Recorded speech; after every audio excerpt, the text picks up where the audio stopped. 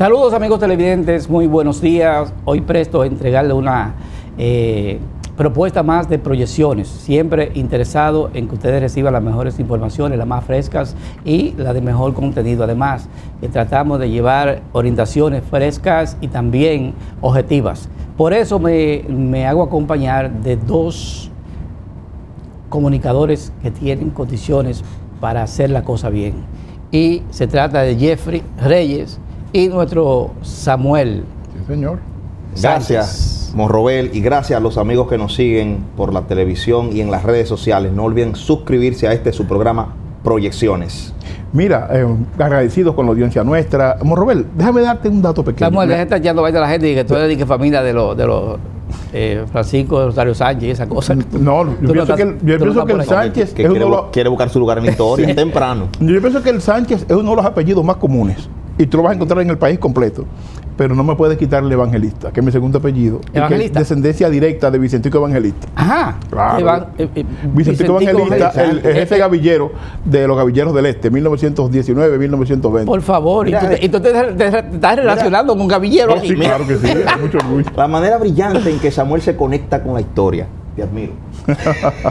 Mira, eh, decirte eh, que nos acaban de saludar, le dije a alguien que íbamos al aire, y nos acaban de mandar un saludo mm, de la zona de Villamella, eh, esta, la carretera Jacob Macluta, en esas organizaciones que Santo están ahí. Domingo Norte. En Santo Domingo Norte nos acaban de decir que están en sintonía para que sepan que nos están mirando desde el mero centro de la capital de la República, Villamella, del área de tú Villamella. sabías que hay un conflicto. ¿Con cuál? No se sabe dónde se produce mejor chicharrón, si en Villamella o en Moca. En Villamella, por Dios. Los mocanos están inventando. No, no, en Villamella no Bueno, se puede yo soy inventar. neutro, Igual no que los mangos badilejos, tú no puedes jugar con neutro. eso. Los dulces de ¿Tú igual, tú se no puedes No jugar con entrar en eso. ese problema. Miren, eh, la realidad que eh, República Dominicana como país eh, sigue logrando hazañas importantes. Y es una detrás de otra, un país pequeño, pero con gente muy decidida y eh, que nos hacemos sentir donde quiera que vamos. Y en este caso lo estamos haciendo en la dirección correcta y qué bueno que así sea. Todos debieran procurar eso. Lo que pasó con la Reina del Caribe en el deporte, Correcto. ganaron medalla de oro en, en Norseca y también el caso de Albert Pujols. Eh, es algo que eh, inusitado, no lo esperábamos, la verdad que yo mismo no esperaba que iba a haber un renacimiento en términos de productividad de Albert Pujol, porque todo el mundo sabe que con 42 años eh, eh, no es mucho lo que se puede hacer en este deporte, Es más sin embargo está marcando la pauta y de qué manera. Sí. Miren ahí, ahí anoche dio su jorrón, pero eso, es- eso es un, en Sí, un mes y pico, en un mes y pico que se ha puesto eh, eh, la pila y anoche dio el, el, el 698. Le faltan dos para llegar a los 700 y 16 para alcanzar al de todos los tiempos. Cuando llegue a los con 700, 714. sí, él eh, se quedaría detrás de Babe Ruth, que dio, pegó 714 jonrones. Barry Bonds sigue con el sigue como número uno, Sí. lo cual eh, indica que eh, Albert Pujol podría colocarse en la posición número uno. Claro está, está el tema de la edad que usted citaba, Robel, pero recordemos que ya hay la experiencia y la historia de un dominicano eh, llamado Julio Franco, no sé si lo recordarán Claro, ustedes, claro. amigos televidentes, que fue un gran pelotero que jugó con los Bravos de Atlanta y que me parece que ya tenía cuarenta y tantos, 45, 47. Julio todavía pegaba batazos Sí, sí, sí, sí. como un verdadero caballo en el béisbol. Pero mira, también eh, sumarle a lo que dice Morrobel y dices tú, eh, Reyes, que Marilady Paulino alcanzó medalla de oro. También. Y junto con ella en, en- en campo y pista, eh, hubo otra dominicana, lamento no tener el nombre ahora, que también alcanzó medalla de bronce. O sea que realmente hemos ido creciendo Sí. en materia deportiva. Pero ¿cuál es el impacto y la importancia que para mí tiene, tienen esos éxitos? Primero, que le dice a un sector de la población nuestra que no tiene ninguna posibilidad de éxito, que a través del sacrificio, la disciplina, el método, se pueden alcanzar cosas importantes, pero el impacto que estas victorias tienen en amplios sectores nacionales que ven en estas figuras, digamos, su norte para poder alcanzar metas. Pero Samuel, Sí, correcto. en este tema, que es un tema apasionante, porque Sí. los dominicanos estamos muy ligados al béisbol y a la política. Y, Se dice eh, que sabemos eh, de tres cosas eh, mucho. Sí. Béisbol, de gallo Y de política. y, de, política. Entonces, eh, eh, tomando en cuenta a los amigos televidentes, les hacemos saber que este programa es en vivo. Vamos a ponerle la línea telefónica ahí, el número, para que los amigos televidentes que quieran opinar sobre este tema tan apasionante como es el caso de Albert Pujols y lo que está logrando, ustedes, ustedes se recuerdan, es. ustedes se recuerdan que eh, eh, eh, tanto Sammy Sosa como Maguaya, eh, la, el béisbol estaba en capa caída. es correcto. Producto de una huelga de béisbol. Claro. Era una, una competencia de jonrones entre nuestro dominicano Sammy Sosa y Mark Maguire, el americano.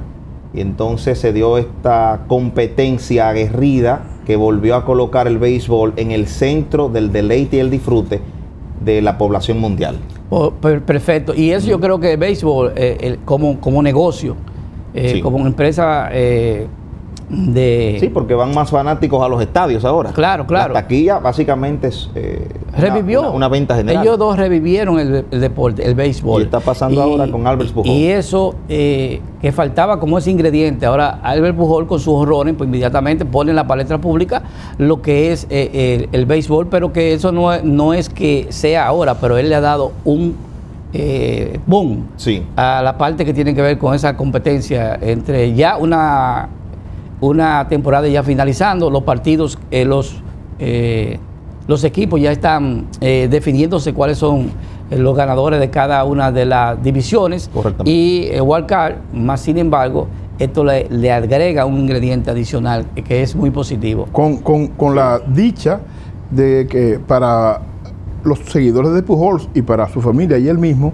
que tiene una carrera limpia. Es correcto. Sin comentarios negativos, sin nada que le manche su, su rumbo directo hacia el Salón de la Fama. Un Sí, ejemplo a seguir, indudablemente. Los, los- los prospectos deben de, de- de- Interesante. de- deben de copiar. Sí, inter- Deben emular. interesante destacar también que para los números que Pujols ha establecido en su carrera beisbolística, yo creo que la cobertura de los medios de prensa no se ha puesto al nivel o no se ha equiparado. Que pasa inclusive, no sé si ustedes se dan cuenta, hay eh, peloteros que con ni la mitad de los números que Pujol ha puesto han tenido más cobertura en los medios televisivos. Lo destacamos aquí en un programa anterior. Me parece que yo creo que hay que empezar a destacar esos valores de peloteros como Pujol que han tenido una carrera profesional en el béisbol limpia, transparente, con mucha disciplina y pasión por lo que hace. Yo no sé si, si porque tengo conocimiento de hace un mes y pico, dos meses, que Albert Pujol le, solicitó a Leonel Fernández que fuera a San Luis, Missouri, a eh, lanzar eh, la primera bola. Y yo conocía de eso hace ya un tiempecito. Yo quería preguntarle, Monrobel, ¿por qué esta distinción con un líder político? eh, eh, o sea, No, ¿hay alguna historia son, detrás? son, son cuestiones personales y eso viene a través de Jay Payano. Eh, Jay Payano tiene una relación muy, muy buena con todos los peloteros por el trato que le dio cuando Muy fue bien. secretario del ministro de Deporte. y en este caso, perdón, en este caso, pues, eh, esa relación fluyó y eh, Albert Pujol logró pues, invitar a Leonel Fernández y se dice que no se sabe cuál le está dando suerte.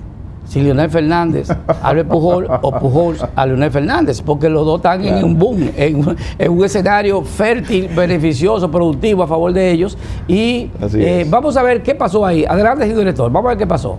Ahí están eh, donde Leonel. Fernández se desplaza con Albert Pujols al montículo eh, Leonel y al eh, home plate Albert Pujol quien va a recibir eh, ese lanzamiento de, de Leonel Fernández. Leonel Fernández siempre ha sido un apasionado del béisbol Me dicen Eh, que de los deportes. Me dicen y, y que de los deportes, básicamente del Me béisbol. dicen que Albert Pujol estaba preocupado porque al parecer Leonel todavía tira 92.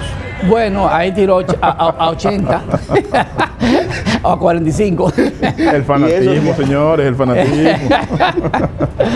Pero lo cierto es que hizo el lanzamiento y realmente eh, con un estadio lleno, con esta expectativa que está siguiendo y que hay en el béisbol, ahí está Claro. Leonel Fernández. Vamos a escuchar, ponle, ponle el sonido, por favor, señor director. Ahí le hacen una pregunta. orgulloso de este gran compatriota histórico que está ocurriendo. Bueno, ahí le pregunta eh, la periodista que cómo valora ese eh, jorrón 6 98. 698, Pero 698. fíjense Sí. ustedes, eh, Leonel Fernández siempre ha sido un seguidor del deporte, sobre todo del béisbol, porque él cuenta, en, cuando narra su biografía, él- eso es lo que él dice, que quiso ser pelotero antes que cualquier otra cosa. Recordemos que en, el, en su primer gobierno de 1996, ¿a quién nombró como ministro de deportes? Nada más y nada menos que a ese gran eh, Salón de la Fama, Juan Marichal. ¿verdad? Que nos distinguió ejerciendo tan importante posición en el tren gubernamental. Yo creo que también hay un reconocimiento en los aportes que han hecho los eh, mandatos gubernamentales de Leonel Fernández eh, al deporte dominicano. Bueno, vámonos a otro, a otro tema muy interesante que también está copando la atención de los dominicanos. Y por qué no, por qué no decirlo del mundo, porque se trata de una situación que eh, puede, puede afectar la estabilidad eh, de otros países que no son Haití. Y me refiero al caso específicamente de nuestros vecinos eh, haitianos. Sí. Miren, eh, lo que está pasando en Haití es algo que se veía venir. Indudablemente, en un país donde no hay control de nada, donde las los que tienen, ¿cómo se llaman las pandillas? Sí, sí, que- las bandas eh, criminales sí, ejercen más autoridad que el propio gobierno. Son los que están en competencia de quién controla en zona- mayor en eh, zonas te- específicas. territorio. Por no decir de todo el territorio, hay, zona, hay zonas o áreas donde las bandas criminales ejercen una mayor autoridad que el gobierno, que actualmente el gobierno estaría en cuestionamiento, básicamente el Estado. Decía Inocencio, el doctor Inocencio García, quien fuera diplomático, eh, eh, ¿verdad? Eh, en, en Haití, ¿no? Ejerció funciones de, diplomáticos en Haití decía que hoy se cuestiona las condiciones de Estado de Haití, porque el Estado se compone de tres elementos fundamentales, población, autoridad y territorio. Pero si el gobierno no puede ejercer esa autoridad, entonces a falta de un elemento ya no hay Estado. Y entonces eso es crítico y preocupante y entonces el problema es de fondo. Pero no estamos viendo, perdón, eh, eh, Samuel, ¿Cómo no no? estamos viendo un video que inició ahí el señor eh, eh, eh, director y, y cuando se están lanzando, mírenlo ahí, eh, se están lanzando, pero dice dice el secretario Vinito de las Fuerzas Armadas que, que demiente que eso esté ocurriendo, pero no sabemos si ese video eh, tiene origen, origen Eso- ahora o qué. No, mira, ese- eso, eso en efecto ocurrió, pero ocurrió en la parte de Haití, no ocurrió en la parte dominicana. Es importante decir eso. En el lado dominicano. Eh, ellos, los hermanos haitianos, que normalmente compran alimentos en el mercado Binacional, cruzaron eh, los, la, la guardia, la policía haitiana, cerró la puerta fronteriza que permite acceso al lado dominicano para entonces comprar productos eh, en, la- en el mercado binacional, pero eso no pasó en el lado dominicano. Ellos compraron y se regresaron. ¿eh? Es bueno decir eso. O sea que el video que aparece ahí, entonces, que están cruzando la verja para acá, para la República Dominicana, No, eso están no- cruzando la verja haitiana. No hubo una avalancha cruzando hacia Santo Domingo. Eso no pasó. No pasó. Ok. Por salud, eh, es bueno eh, decir ese, ese, ese video que está ahí. Correcto, esa es la verja haitiana. Ajá. Entonces ellos están cruzando para qué lado. Está cruzando para la verja haitiana para Santo Domingo, pero acuérdate que hay una, un, un- un espacio que se llama Tierra de Nadie, Por que es que bastante extenso. Que son frontera, dos, sí. dos, dos eh, Las- entradas, dos Claro, dos claro.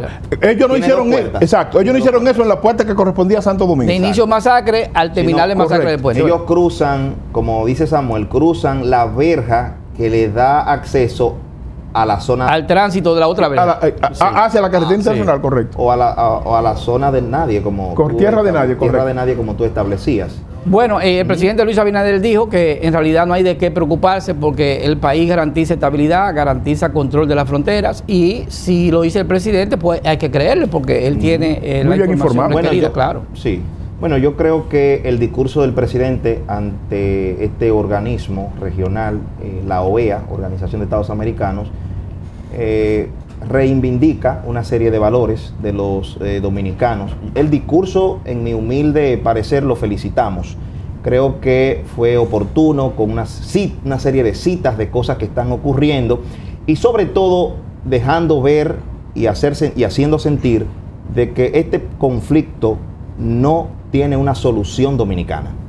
Eso es importante. De hecho, eso que tú comentas, Jeffrey, tuvo un impacto tan favorable que el Banco Interamericano de Desarrollo le informó, y el presidente a su vez también lo ha visitado, Correctamente. que hay un presupuesto para construir dos hospitales en Haití del lado haitiano. El lado haitiano, sí. Lo Dos, que maternidades. maternidad. Dos maternidades, lo que indica que eso es un paso de avance Sí. que debió hacerse hace años, Sí, sí. pero más vale tarde que nunca. Sí, pero, sí, pero, son eh, iniciativas. eh, eh, eso, haberse eso es tan importante la parte económica para nuestro país porque se va mucho dinero, muchos recursos del presupuesto de, la- de- de Bueno, salud. yo le puedo decir a ustedes, yo fui parte de un equipo de investigación, en aquel entonces, por el 2011, yo trabajaba con el Centro Cartel, que tiene sede en Atlanta, Georgia. Correcto. y eh, verdad allí dominicanos, inclusive habían investigadores haitianos y americanos y estuvimos mirando en los hospitales que había un mayor número de pacientes, eh, en este caso por asuntos de herida, accidentados y parturientas de la hermana República de Haití. Habían nacionales haitianos en nuestros hospitales y eso es parte de los datos que levantamos, ¿verdad? Y cuando hablábamos allí con los médicos, cuando hablábamos con las enfermeras, nos decían que, el, que había un mayor número de pacientes de ese país eh, tomando los servicios de nuestros hospitales. Jesse- Jeffrey, decirle a los amigos televidentes Sí. que tenemos la línea telefónica abierta por si ellos quieren opinar sobre los temas que estamos tratando. Nos vamos a una pausa y regresamos en breve.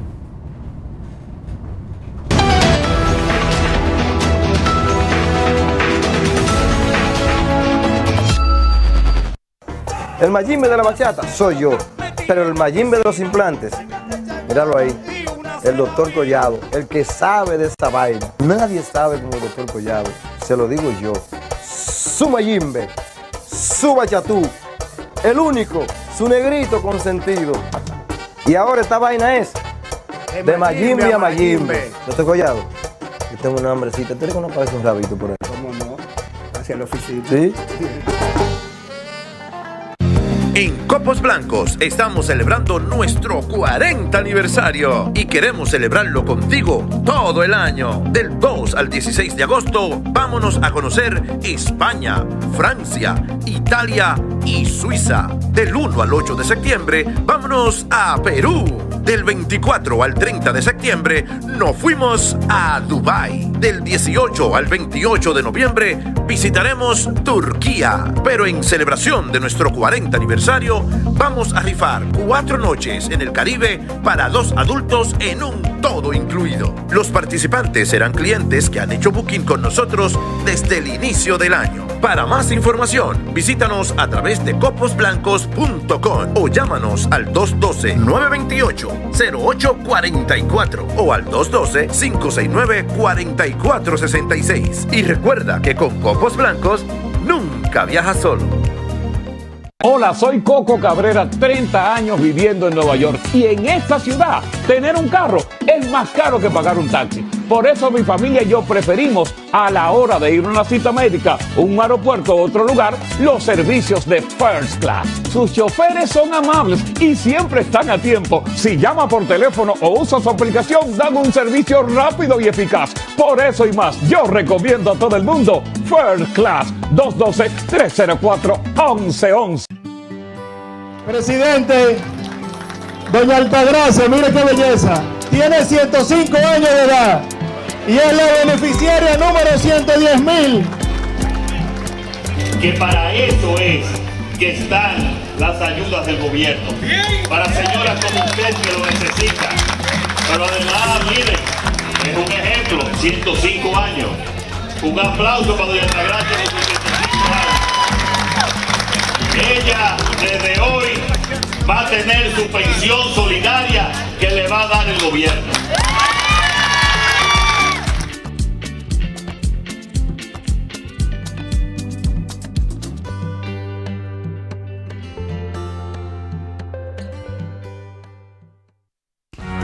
DLS Transportation tenemos más de 5 años sirviendo los 5 condados, ofreciendo transportación médica, viajes privados con reservación previa, vehículos con choferes profesionales y altamente capacitados con las normas sanitarias.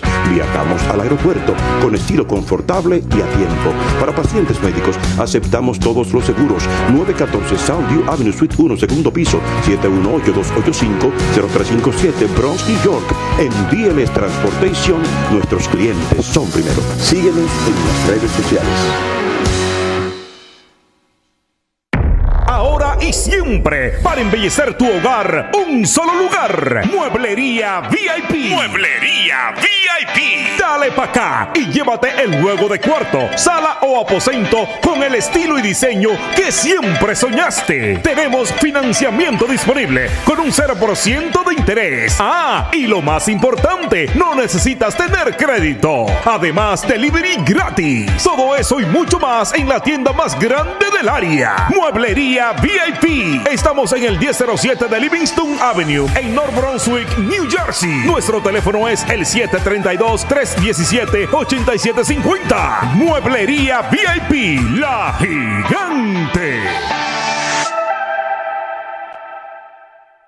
Hoy junto con el alcalde Eric Adams, con la policía de la ciudad de Nueva York, nuestro departamento de transportación que dirigimos está invirtiendo 4 millones de dólares en una campaña en toda la ciudad, en nueve idiomas diferentes, en los medios sociales, periódicos, radio y televisión, con un mensaje, reduzcan la velocidad y de esa forma estarán ustedes seguros, los peatones y los ciclistas también. Las cosas pasan rápido en la calle. Su velocidad le puede parecer lenta al manejar, pero si atropella a alguien, es espantosamente rápida. Conductores, estén pendientes de los peatones y ciclistas y al doblar reduzca la velocidad a 5 millas por hora. El exceso de velocidad arruina vidas. Reduzca la velocidad.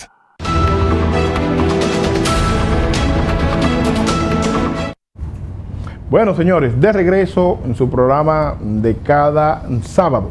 Mira, el hermano Jeffrey eh, planteaba la situación de los hermanos haitianos en República Dominicana y los hospitales. Y yo quiero simplemente subrayar que en efecto eh, vio haitianos utilizando los hospitales, pero no todo el que vio en los hospitales necesariamente son personas que entró a ir al hospital. Si usted trabaja y vive en un país, usted tiene que ir a esos hospitales, no puede ir al suyo porque usted vive y trabaja ahí. En el caso de nosotros que vivimos en Estados Unidos, eh, con documentos o sin documentos, si una mujer nuestra tiene que dar a luz, tiene que hacerlo donde trabaja y donde, donde vive, no puede hacerlo en otro lugar.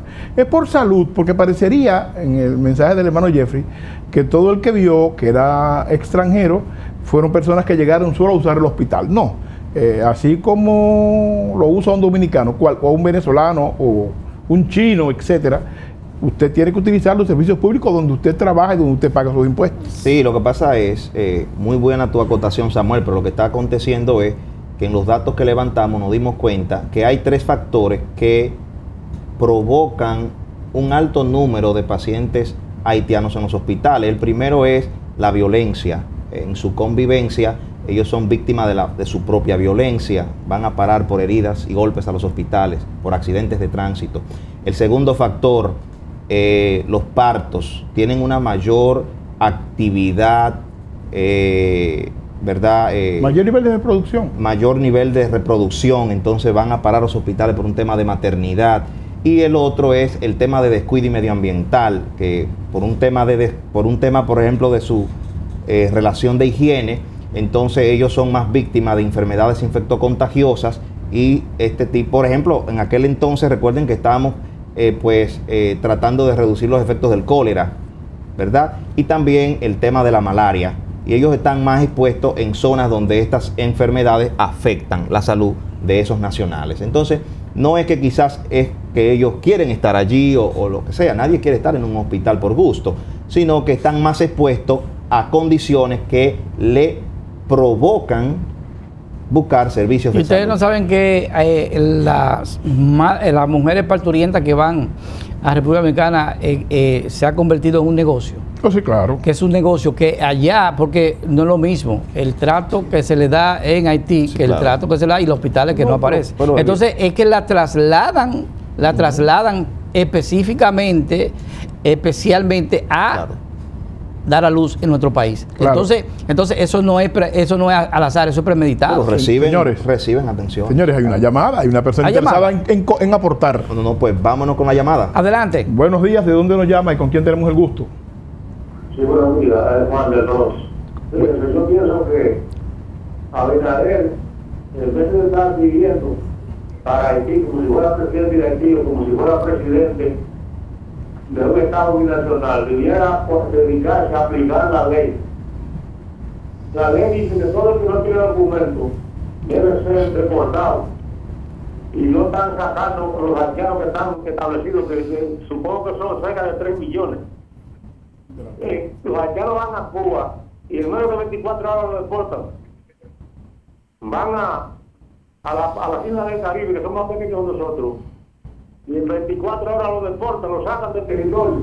Sin embargo, los presidentes que han pasado por ahí, incluyendo a Balaguer y a Trujillo, eh, de una manera irresponsable, han dejado que los haitianos se tomen el país. Nosotros estamos tomados por los cuatro costados. Ya hay, hay Domingo que tienen más que dominicanos. Y nosotros tenemos, una, tenemos cultura diferente, idioma diferente, costumbres diferentes. Y nosotros no nos independizamos de, España ni de, Estados Unidos. Nosotros nos independizamos de aquí. Esa gente duramos 22 años masacrando la República. Y gracias a los, a los, a los patriotas, encargados por Martín, fuimos independientes, tenemos una nación.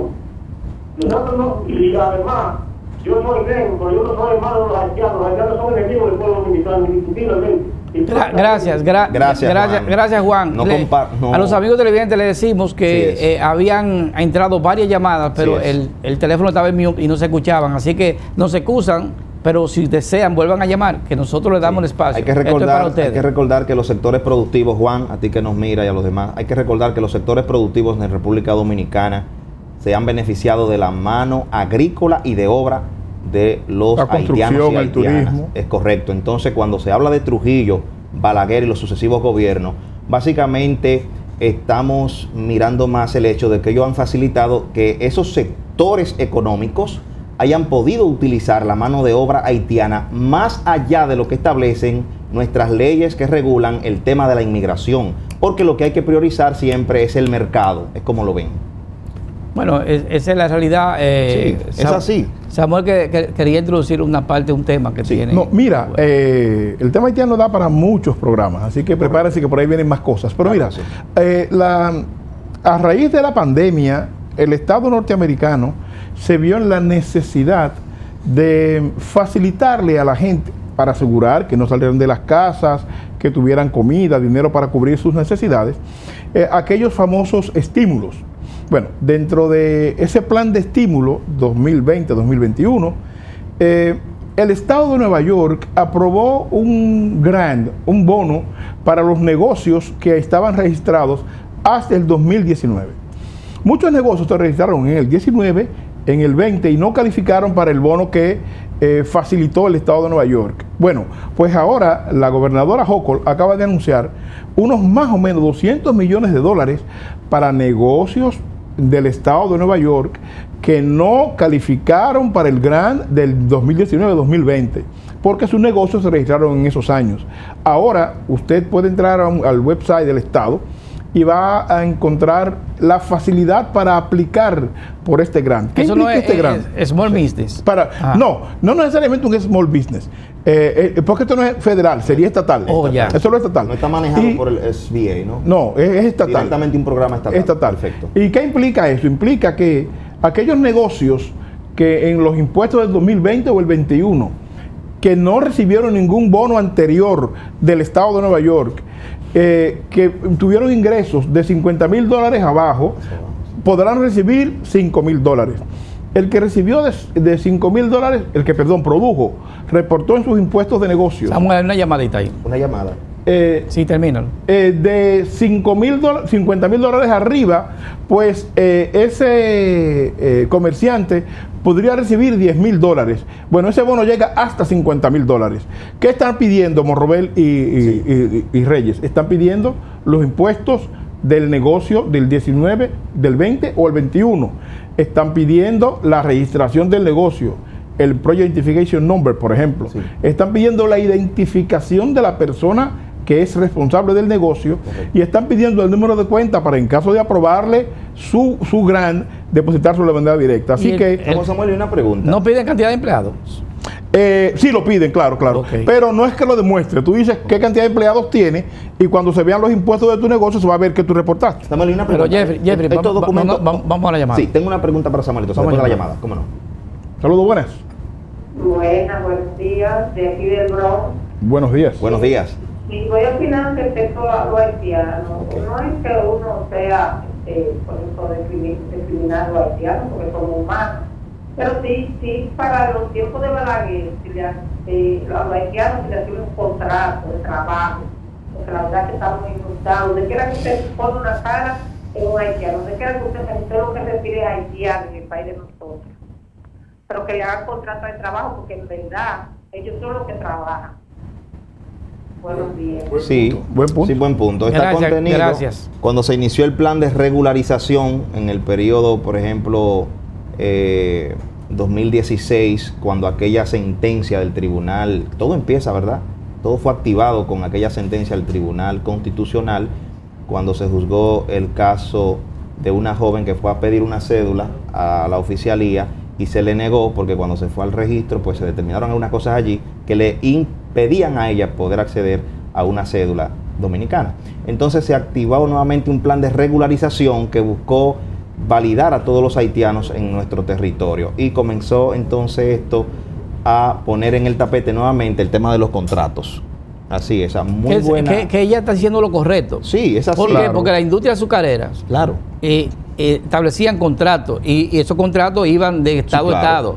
Entonces, esos Sí. contratos tan pronto se vencían o se renovaban o las personas tenían que, los haitianos tenían que, que, que regresar. empezó cuando Trujillo Claro. a- entonces eh, ahí entonces Trujillo se benefició bastante porque recordemos que Trujillo tenía era el mayor accionista de la industria azucarera o sea que la mano de obra haitiana la mano agrícola produjo muchos eh, ingresos eh, para las arcas dominicanas Parece que tenemos otra llamada. Otra llamada. Adelante. Buen día. ¿Quién, nos llama y de dónde? Sí, digamos, eh, hablamos de nuevo. Nuar, bienvenido. Quiero, quiero un- un- una, una respuesta en cuanto a las elecciones que se desarrollan de Santo Domingo de Nueva York. Que tengo conocimiento de un grupito que se está juntando y han hecho reuniones para impedir que se realicen esas elecciones presidenciales en, en Nueva York. Yo quiero saber si ustedes tienen conocimiento de, de eso.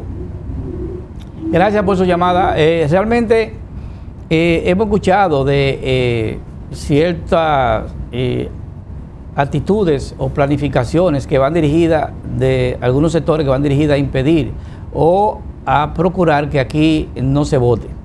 Y yo le puedo decir que eso eh, no va a tener ningún tipo de eh, Éxito. éxito Claro porque, es. porque es como, que- es como que usted diga que en Santiago hay alguien que quiere que se impida que se vote en Santiago. Y hay que entender que ya lo del voto en el exterior está en la constitución, está en la ley electoral. No hay manera. Para eso hay, que cambiar la constitución. Igual que los diputados de ultramar está establecido en la constitución.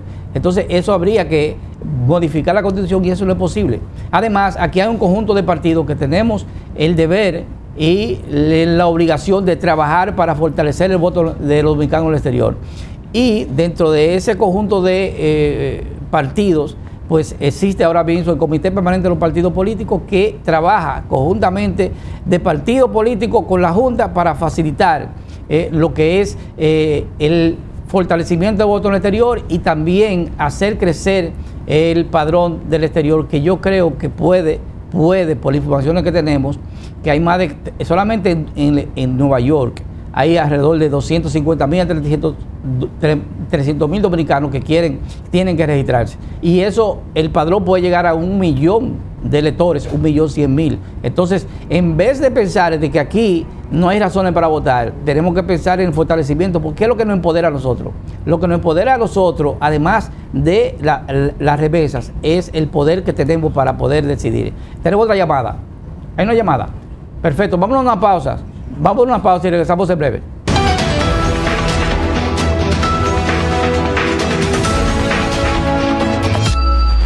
Hola, soy Coco Cabrera, 30 años viviendo en Nueva York y en esta ciudad tener un carro es más caro que pagar un taxi. Por eso mi familia y yo preferimos a la hora de ir a una cita médica, un aeropuerto o otro lugar, los servicios de First Class. Sus choferes son amables y siempre están a tiempo. Si llama por teléfono o usa su aplicación, dan un servicio rápido y eficaz. Por eso y más, yo recomiendo a todo el mundo First Class 212-304-1111. Hoy junto con el alcalde Eric Adams, con la policía de la ciudad de Nueva York, nuestro departamento de transportación que dirigimos está invirtiendo 4 millones de dólares en una campaña en toda la ciudad, en nueve idiomas diferentes, en los medios sociales, periódicos, radio y televisión, con un mensaje, reduzcan la velocidad y de esa forma estarán ustedes seguros, los peatones y los ciclistas también. Las cosas pasan rápido en la calle. Su velocidad le puede parecer lenta al manejar, pero si atropella a alguien, es espantosamente rápida. Conductores, estén pendientes de los peatones y ciclistas y al doblar reduzca la velocidad a 5 millas por hora. El exceso de velocidad arruina vidas. Reduzca la velocidad. Presidente, doña Altagracia, mire qué belleza. Tiene 105 años de edad y es la beneficiaria número 110 mil. Que para eso es que están las ayudas del gobierno. Para señoras como usted que lo necesitan. Pero además, miren, es un ejemplo, 105 años. Un aplauso para doña Altagracia de 105 años. Ella desde hoy va a tener su pensión solidaria que le va a dar el gobierno.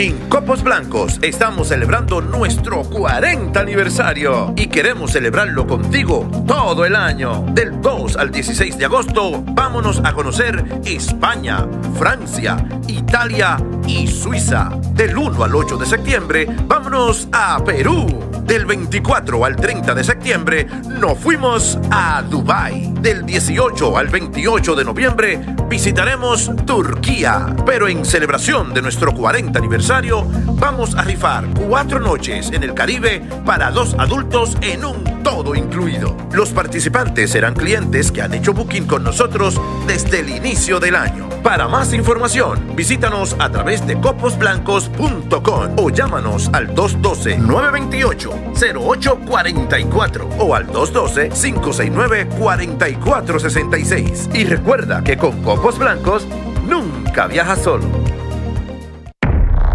Y siempre, para embellecer tu hogar, un solo lugar. Mueblería VIP. Mueblería VIP. Dale pa' acá y llévate el juego de cuarto, sala o aposento con el estilo y diseño que siempre soñaste. Tenemos financiamiento disponible con un 0% de interés. Ah, y lo más importante, no necesitas tener crédito. Además, delivery gratis. Todo eso y mucho más en la tienda más grande del área. Mueblería VIP. Estamos en el 1007 de Livingston Avenue, en North Brunswick, New Jersey. Nuestro teléfono es el 732-317-8750. Mueblería VIP, la gigante. El Mayimbe de la bachata soy yo, pero el Mayimbe de los implantes, míralo ahí, el doctor Collado, el que sabe de esa vaina. Nadie sabe como el doctor Collado, se lo digo yo. Su Mayimbe, su bachatú, el único, su negrito consentido. Y ahora esta vaina es de Mayimbe a Mayimbe. Doctor Collado, yo tengo una hambrecita, ¿tú que no parece un rabito por ahí? ¿Cómo no? Hacia la oficina. ¿Sí? DLS Transportation tenemos más de 5 años sirviendo los 5 condados, ofreciendo transportación médica, viajes privados con reservación previa, vehículos con choferes profesionales y altamente capacitados con las normas sanitarias. Viajamos al aeropuerto con estilo confortable y a tiempo. Para pacientes médicos aceptamos todos los seguros. 914 Soundview Avenue Suite 1, segundo piso, 718-285-0357, Bronx, New York. En DLS Transportation, nuestros clientes son primero. Síguenos en las redes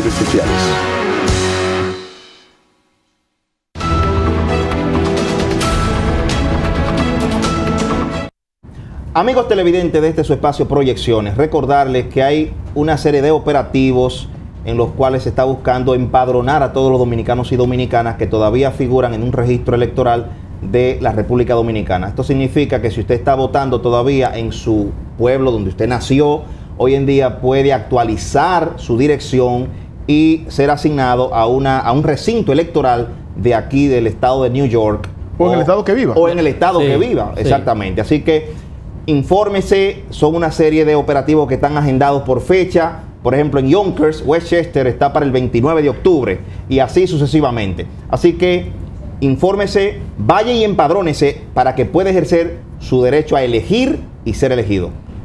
Fíjate, eh, eh, eh, pero ese, este programa se compromete cuando se formalicen los operativos móviles, que se van a hacer eh, en grandes cantidades. eh, los partidos políticos están mocionando con la Junta para ofrecerle a la Junta los locales donde nosotros, porque somos nosotros los que llevamos la gente, además de algunos que van independientes de que lo lleva un partido, pero la mayoría van por los partidos. Entonces nosotros estamos para eso, para llevar la gente y le vamos a hacer saber dónde están operando esos operativos, qué día y qué hora, o de qué hora a qué hora. Así que estén pendientes de este programa porque van a tener esa información para que el día que le toque cerca de su casa usted diga, bueno, déjame bajar o déjame salir y Es ahí tiene su servicio para más facilidad. Samuel, tengo una pregunta para ti. ¿Cómo no? Estos documentos que tú bien has citado para acceder a estos fondos, ¿verdad? Eh, deben no ser presentados en se físico. devuelven. Oh, El- o el- el- digital. perdón, los fondos son un- son regalados, no tienen que pagarlo. No tienen que devolver ese dinero. Es una ayuda. Es, es un bono, correcto. Me, me preguntabas, pero Sí, los documentos, ¿cómo deben ser presentados? ¿En físico o digital? digital. ¿O tienen- Ok. Todo digital. Usted le saca una foto al documento con su teléfono, si no tiene un escáner, lo salva y cuando empieza a llenar el proceso, entonces le va pidiendo en cada momento qué cosa subir, usted lo va, lo va subiendo, es Pero digital. Samuel, pero como tú sabes el sistema, lo conoces. Si alguien que no domina eh, el procedimiento y acude, eh, acude a ti, puede contactar. podría hacerlo y que de Oh, no, claro, claro que sí. Yo pienso que en el estado de Nueva York, y decimos Nueva York porque este programa se ve en, en el territorio nacional completo, ¿verdad? En Estados Unidos. Pero en el caso particular de Nueva York, usted tiene su negocio que registró 2019, 2020, 2021, pero además no calificó para recibir ningún bono del estado de Nueva York, este programa es para usted. En efecto, hable con su contador para que él le ayude con este procedimiento para evitar entorpecimientos, porque solo Jeffrey y Morrobel solo son 200 millones de dólares, que en Nueva York eso es una gota de agua. Así es. Se agota rápido. eh. Así es. y eso va por el orden de aplicación.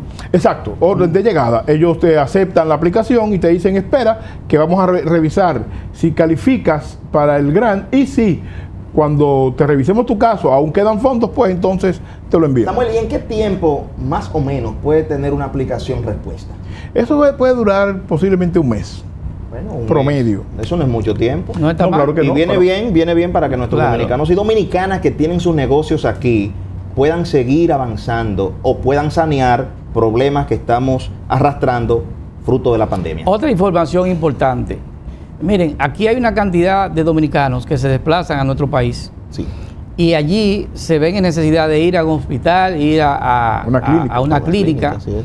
y tienen que hacer gastos, incurrir en gastos que tal vez no estaban presupuestados, pero usted tiene que pagar ese dinero allá. Ahora, si usted trae los recibos y usted tiene Medicaid aquí o Medicare, usted puede traer con esa factura, que de lo que pago allá, traerla aquí, eh, hacérsela llegar al Medicare o Medicare, entonces ellos le van a reembolsar ese dinero. Muchas personas no lo saben Muy y van allá, a veces mujeres que dan a luz o se les presenta una situación de una operación de emergencia, que eso cuesta muchísimo dinero, indudablemente que no saben que eso puede ser eh, eh, Reembolsado. reembolsado, entonces pierden ese dinero. Entonces, vamos a, tener un espacio de un, segmento para poder orientar en esa dirección, para que los amigos televidentes puedan servirse por lo menos la información de este programa y puedan sacarle provecho. O sea, yo me imagino, Gregorio, perdón, eh, Reyes, yo me imagino, Gregorio, que si la gente con, que ha presentado esta situación, o sea, ha tenido un gasto en, eh, en Dominicana, o en su país de origen, porque este programa no solamente lo ven dominicanos, Claro. y puede traer los recibos, si llama al seguro que tiene, posiblemente ese seguro le pueda dar respuesta a eso. Ese, ese seguro es el que transmita que eh, El Estado. eh, el Estado le entregue el dinero. Porque uno tiene, yo no voy a mencionar el nombre de las diferentes eh, Compañías. que están que- asistiendo. que administran los fondos y del dan, Medicaid. Y que dan, no, que dan los servicios. Y que da- o que dan los Ellos dan los servicios y tramitan lo que tiene que hacer con los pagos de los hospitales eh, y todo eso. La, la, la, la- ¿Cómo se llama? La, la receta. Sí. Todo ese tipo de cosas. Y, y- y este trámite, Morrobel, para que la persona pueda ser eh, retribuida, ¿verdad? En sus gastos médicos realizados en cualquier eh, país, República Dominicana u otro país de destino. de- eh, es burocrático, se tarda mucho, es un poco complejo. No, ellos dicen que cuando usted suministra la factura de los gastos que incurrió allá, entonces ellos lo que hacen es que transmitan a- a- a- a- Al Estado. al Estado y el Estado, eso no se toma mucho tiempo, Es ágil. le, le- le devuelve así su dinero. Ok, perfecto, Eh, eh, entonces. eso es como cuando tú eh, eh, vas a, lo- a- a la clínica aquí Correctamente. y eso eh, ellos te, te asisten y luego el seguro va y paga. Ojo, Bueno, eso está sujeto a verificación. sí. Ojo, eso está sujeto a verificación. Importante aclararlo. Claro, Sí. claro, claro. Pero Bien, vamos. traigan sus facturas de gastos médicos y eh, para que puedan entonces solicitar esa, Es reembolso. ese reembolso. Miren, eh, eh, vamos a hablar aquí. de la situación del PRM. Ustedes saben que la semana pasada hablamos de que el PLD aquí no va a realizar eh, su proceso interno, lo que ellos están eh, llamados a llevar a cabo ahora el 16 De octubre, sí. de octubre. Sí, no habrá elección Eh, interna. No habrá elección aquí. interna, pero eh, ustedes saben que el PRM tampoco ha podido ponerse de acuerdo para, para elegir sus autoridades aquí. Hay un conflicto serio ahí. Se dice que Miguel eh, Luis Abinader va a intervenir para ver cómo se busca un tercero, porque cuando hay un, un choque de trenes, pues lo que hace es que buscan un tercero. Un pero, tercero lo- imparcial. pero el tercero que están buscando no es imparcial y el otro se queja. Entonces todavía hay un traque como quiera. De la imparcialidad Eh, y casi eso, y eso, mira, eso le va a traer sí, sí, serios problemas, tanto al PRM como al PLD, por la situación que están atravesando. Mientras ellos están en dificultades, la Fuerza del Pueblo va dando palos eh, y registrando gente, eh, formando estructuras, y, y- y vamos a plantear lo que pasó en el PRM y la actitud que están asumiendo dirigentes importantes del PRM con relación a la exclusión. Ellos dicen que lo excluyeron. Claro. El caso de Tony Claro. el caso de Gide Bolnigal, Fafa Tavera, eh, el mismo ah, Guido Gómez Mazara, eh, eso, eso es- una explosión, es una bomba. Bueno, Guido Mira, lo peor es cuando un partido tiene ahora. disidencia adentro, porque el trabajo que tienen que hacer los de afuera lo están haciendo los de adentro, y eso es peligroso. Yo entiendo que eso fue una decisión muy errática por parte de la, de las altas instancias del PRM, porque eh, cuando tú tienes un enemigo que te está atacando y tú lo tienes adentro, por lo menos se exime de hacerlo con, con, con, con malicia y con énfasis para dañar, se, cu- se cuida. Como el caso de Guido, la mujer y otros. Ahora, cuando tú lo excluyes y ellos se sienten afectados, esa, ese accionar en contra de la estructura, la alta instancia, entonces se va a incrementar. ¿Y qué es lo que va a pasar en adelante? Que ahora, ahora eh, el PRM va a saber lo que es tener eh, esa quinta columna en, de frente eh, de manera abierta. Eso es un caso que Mira, le va a afectar. Yo escribí un artículo hace unos, hace un año y algo, eh, que el título era El PRM un partido sin dirección. En, el, en la lógica siguiente. eh, si los amigos del PRM entendieran el impacto negativo en la psique de la población que eh, observa los partidos políticos desde fuera, el impacto negativo de, esa, de esas rebatiñas, que parece ser que es como por una finca, como por una propiedad. Eh, si entendieran el impacto, y lo deben entender porque ya lo estuvieron en el PRD, primero con en el 39 con don Ángel Milán y Juan Bosch. Es una cultura. Posteriormente, eh, en el 70, eh, a raíz de todos los conflictos con el acuerdo, el acuerdo de, de Santiago. Posteriormente, Jacob Magluta, Jorge Blanco, todo ese lío que ustedes han traído por años, entiendan el impacto negativo que eso tiene en la, en la memoria colectiva y cómo eso les resta respeto y credibilidad frente al electorado. Busquen un punto de avenencia. No se entiende cómo pueden llegar a extremos tan irreconciliables como lo que está pasando en el estado de Nueva York. Pero, pero el caso específico es que en política hay acciones que más que política lo que se llevan al terreno personal.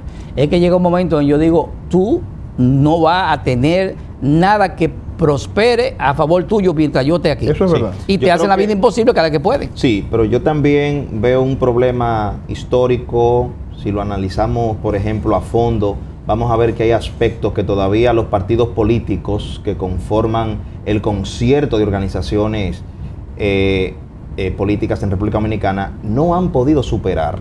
Y es el tema del posicionamiento de los dirigentes en los diferentes puestos de dirección en cada una de las organizaciones. Es algo histórico que lo tenemos, inclusive que cuando se habla del balaguerismo, lo que podemos notar es eh, cómo se eh, producen conflictos a raíz de que nos quedamos en las posiciones.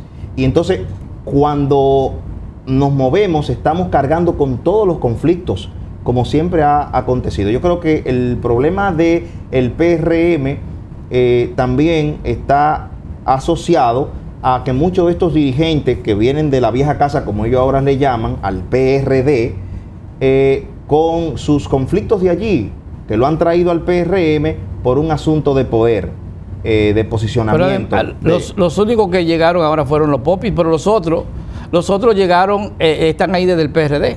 Ese mismo partido. Hace- claro, ese, eh, bueno, no, quizá porque hay que cambiaron, tener- más los popis que llegaron. Hay que tener, yo soy ¿Ya? un poco cuidadoso ahí cuando digo que es lo mismo, porque entonces tenemos en el otro extremo tenemos PLD y Fuerza del Pueblo. Pero perfecto. Eh, eh, hay que Pero- tener- pero- ajá. no, no, no, pero que hay una Claro. cosa clara. Mira, lo que se trata es de, de diferenciar, no en este caso, lo que tiene que ver con el comportamiento de cada partido en su accionar. ¿Por qué? Porque se sabe que hubo una crisis en el PLD y esa crisis trajo una división. Pero también esta que se está dando ahora en el PRM, es posible que traiga situaciones que no son agradables para ese partido.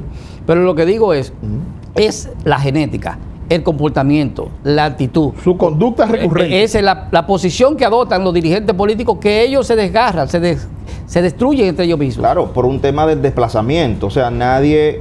Eh, hay una intolerancia al desplazamiento, pero nosotros. Hay dos tipos de desplazamiento. Este es el democrático, cuando nos sometemos a un control, ¿verdad?, electivo. Y hay un desplazamiento de quítate tú para ponerme yo, ¿verdad? Eh, y así sucesivamente.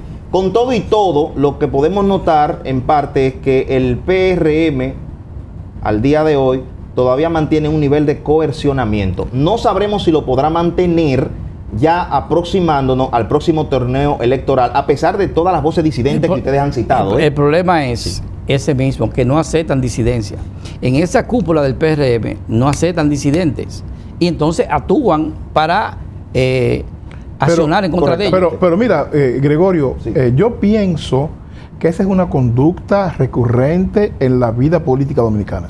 Desde los bolos y los coludos, histórico. desde los bolos y los coludos, el asunto del caciquismo, de yo, este es mi territorio, este es mi la, la- necesidad de control y poder ha hecho que los partidos políticos dominicanos, eh, y por eso se convierten en partidos tan conservadores en, mayoría. ¿Por qué? Porque eh, incluso dentro del movimiento de izquierda, eh, eh, los caciques, el dueño del el, el que tiene el control, es un mal nuestro serio. Y no olvidemos aquella frase que nos trajo a Trujillo en 1928 fue la frase. Trujillo llegó en el 30 de Horacio Vázquez. Horacio Vázquez o que entre el mar. Pero hay una cosa, mire, le pongo el, ca- el- el ejemplo de, de Leonel Fernández en el PLD. Leonel Fernández siendo gobierno sabía que tenía un grupo que no solamente era disidente, sino que accionaba en contra de él, él siendo presidente, y nunca, nunca lo canceló.